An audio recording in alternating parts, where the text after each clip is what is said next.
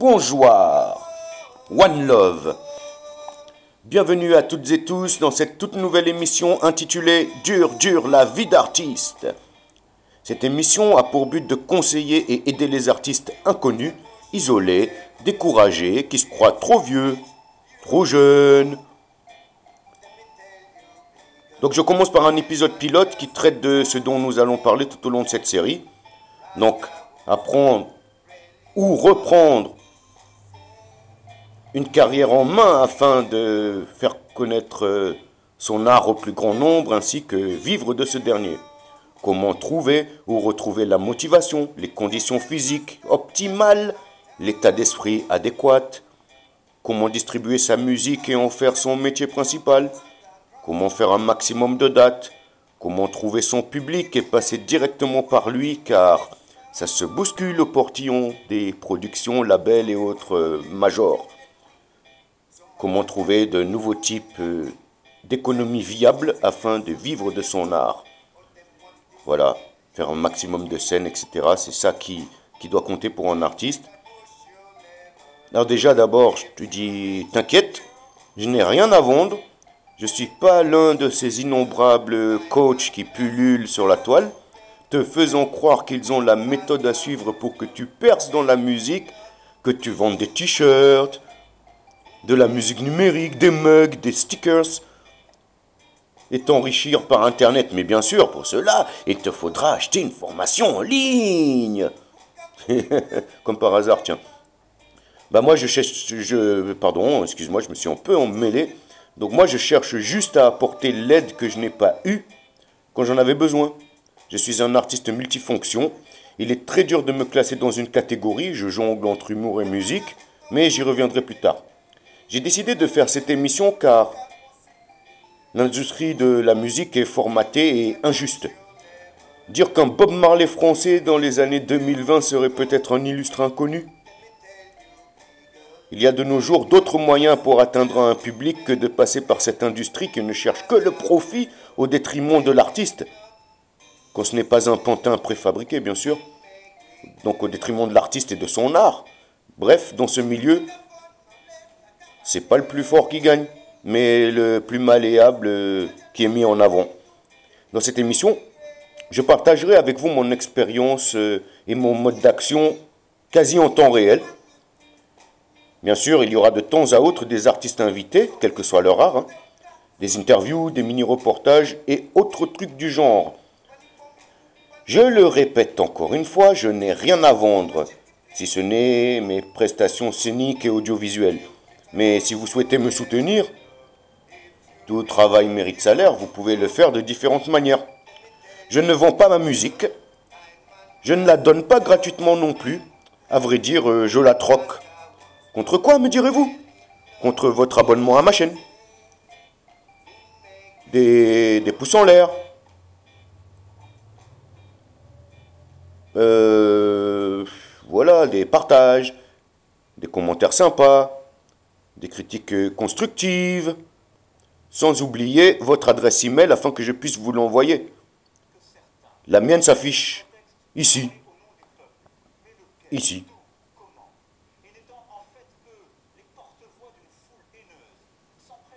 Donc, euh, voilà pour ça. Voilà, et donc, euh, bah, si vous pensez que je mérite un soutien financier, ah bah, il y a mon compte euh, Tipeee, par exemple, qui est ici. Là, hop, je suis sur la page du compte Tipeee, là. Donc voilà mon compte Tipeee. Ou alors en regardant une vidéo sur Uclip. Donc Uclip, c'est dans Tipeee. Et Uclip, c'est ce truc-là que vous voyez là. C'est sur la même page que Tipeee. Et quand vous cliquez pour regarder un clip, ça me rapporte la faramineuse somme de 0,1 centime d'euros par mini-clip. Regardez.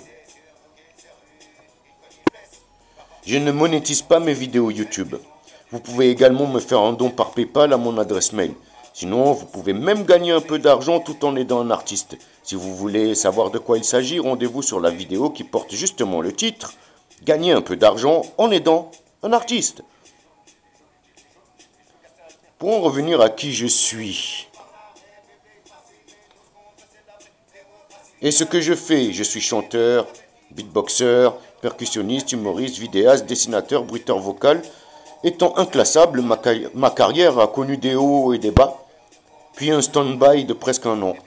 Après quelques mois de procrastination, puis de réflexion, j'ai décidé de m'y remettre ayant appris de mes erreurs, de l'observation, de conseils et de lecture, sans oublier aussi grâce au visionnage de vidéos de motivation, mais rien ou presque en ce qui concerne la musique. Alors vu qu'il y a un créneau à prendre, je le prends. Une manière pour moi de relancer ma carrière tout en vous montrant que c'est possible même la quarantaine passée. Comme je l'ai dit un peu plus tôt, j'ai connu bien des joies et bien des mésaventures et autres tribulations, mais ça en valait la peine. Je sais désormais où mettre les pieds et où ne pas les mettre. Cette émission est éducative. Donc éducative pour certains. Je vous y partage l'ensemble de mes connaissances et expériences dans le domaine tout en vous montrant comment je me démerde pour m'en sortir et afin de vivre de ce que je sais faire, de ce que j'aime faire, de ce pourquoi je suis fait. Si d'autres réussissent, pourquoi pas moi? Pourquoi pas toi? As-tu vraiment besoin de vendre des t-shirts pour vivre de ta musique? As-tu vraiment besoin de renflouer les grosses marques et agences publicitaires en monétisant tes vidéos? Pour quelques centimes au bout de je sais pas combien de vues. As-tu besoin de distribuer ta musique en numérique en passant par une plateforme digitale qui s'enrichit sur ton talent? As-tu besoin d'être conseillé par un petit jeune qui n'a pas d'expérience en achetant sa formation en ligne? As-tu besoin de t'inscrire sur un site pour qu'on vote pour toi pour jouer dans un supermarché? Non. Tu as besoin de faire des scènes. Bref, es-tu un artiste ou un marchand de tapis? Fais-tu de l'art ou du mainstream à la mode De nos jours, beaucoup se lancent dans la musique pour l'argent ou la célébrité, souvent les deux. Alors qu'un vrai artiste est lié à son art. L'artiste et son art, c'est une histoire d'amour. Le vrai artiste vit son art, il le respire, le transpire, c'est sa vie. Peu importe s'il devient célèbre, riche ou pas, du moment qu'il vit par et pour son art. Pas pour les maisons de disques, ni les boîtes de prod. Ça ne veut pas dire ne pas signer, mais le faire intelligemment. J'aurais dû signer plusieurs fois auprès de gros labels, de grosses boîtes de prod. On va dire que pour certaines, j'ai fait le con. Mais pour d'autres, je n'ai pas voulu baisser mon froc. Oui, c'est difficile, mais pas impossible. Voilà, pas du tout. Toutefois, rien ne vaut l'indépendance, être son propre patron, employer des gens de temps en temps sur des projets précis. Quand on n'a pas d'appui ni d'aide, faut faire par soi-même. Personne ne le fera à ta place. Cette émission non seulement donnera des clés à des artistes afin qu'ils puissent vivre de leurs arts, mais permettra aussi à, à un large public, j'aime pas dire public en fait, on va dire, permettra à beaucoup de gens, quoi, de découvrir plein d'artistes talentueux, malheureusement, pas ou peu connus. Et ce, dans plein de domaines différents, au travers d'interviews, de rencontres et de reportages. D'ailleurs, si vous êtes artiste, n'hésitez pas à me contacter si vous souhaitez une interview ou un petit reportage sur vous. Si vous êtes loin, ben vous en faites pas parce que via Internet, ça fait gagner du temps. Vous n'aurez rien à payer. Je le répète une troisième fois, je n'ai rien à vendre. Je suis dans le spectacle, pas dans le commerce. Bon ben, je crois que j'ai fait le tour. Voilà. Donc, euh, il y aura plus de détails au fil des épisodes. Si vous souhaitez me soutenir financièrement, ben euh, voilà, comme je le disais, euh, avez Tipeee, euh, Uclip et mon PayPal. Voilà. Me soutenir moralement, ben, c'est quand vous voulez. Artistiquement aussi. Si des artistes veulent collaborer avec moi sur des projets, vous êtes les bienvenus. ou si vous avez des projets et que vous souhaiteriez que je collabore, pourquoi pas? Mais le meilleur soutien serait de me trouver des dates de concert. Ben, portez-vous bien et rendez-vous la semaine prochaine avec Dur Dur la vie d'artiste, épisode 1, parce que celui-là c'est le pilote. Hein.